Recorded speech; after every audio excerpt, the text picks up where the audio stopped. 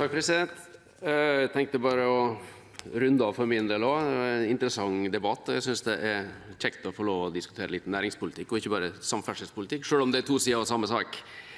Jeg registrerte at eh, representanten Pollestad var litt misfornøyd med at vi kanskje noen av oss virka litt fornøyd. Um, mulig at han uh, forveksla fornøyd med entusiasme. Uh, vi vi snakka om omstilling og behovet for omstilling allerede før, lenge før valget i 2013. Vår politikk er innrettet på at vi måtte gjennom en omstillingsfase. Derfor er det viktig for oss å sørge for at vi har en sterk satsing på samferdsel, som er en viktig del av næringspolitikken. Derfor er det viktig for oss å ha en rekordhøy satsing på innovasjon, forskning og utvikling og SkatteFUNN, fordi det bidrar til omstillingsprosessen.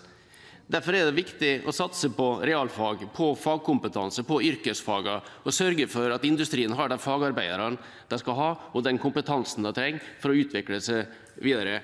Og Derfor er det også viktig for oss å, sørge for å redusere formuesskatten. Rett og slett fordi lar vi bedriften beholde mer av kapitalen sin, er jeg ganske overbevist om ut fra alle tilbakemeldinger som jeg får gjennom mine bedriftsbesøk, at får bedriften beholde mer av kapitalen sin, så bruker bedriftene de pengene fornuftig til å trygge eksisterende arbeidsplasser, til å stimulere til innovasjonsaktiviteter, til å sørge for at en skaper nye jobber, nye produkter, sørger for at nye arbeidsplasser, lønnsomme arbeidsplasser, kommer på plass. Dette er Den entusiasmen jeg viste for den politikken, hvis det ble oppfatta som jeg er fornøyd, så er det feil. Jeg er fornøyd med at vi har fått til såpass mye som vi har gjort, men jeg er ikke fornøyd med at vi har kommet i mål, for det har vi ikke. Den dagen vi er i mål, så skal jeg love deg, både Pollestad og andre, at da slutter jeg i politikken.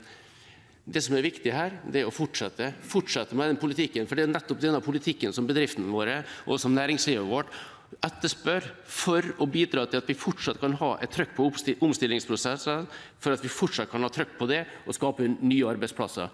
Derfor er jeg entusiastisk, og derfor er jeg fornøyd med at vi greier å gjennomføre den politikken vi gikk til valg på i 2013. og Det mener jeg må være helt innafor.